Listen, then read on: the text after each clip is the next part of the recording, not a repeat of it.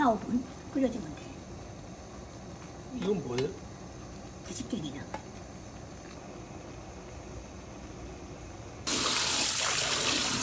네번 씻은 거예요. 들기름 두 스푼. 마늘은 여기 많이 안 들어가.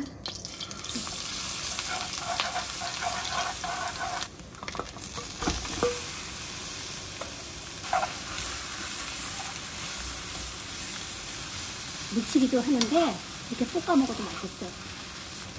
간장 두 스푼, 파, 매실에 두 스푼, 맛조금